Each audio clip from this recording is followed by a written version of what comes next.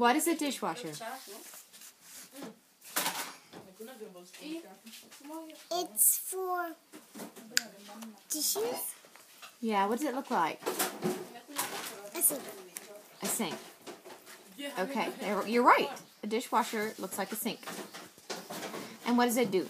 How does it work? You turn it on Yeah, and you put batteries in it. batteries? Okay. It's okay, it's great. And then, how does it work? You turn it on. You turn it on. Who uses a dishwasher? Do you know anyone? Yes, Who? Beatrice.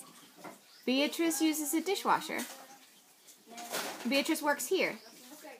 So let me take her, take the people over here to see our dishwasher. Here it is.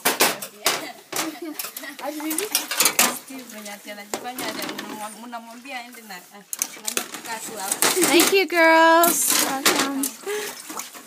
I don't see any batteries.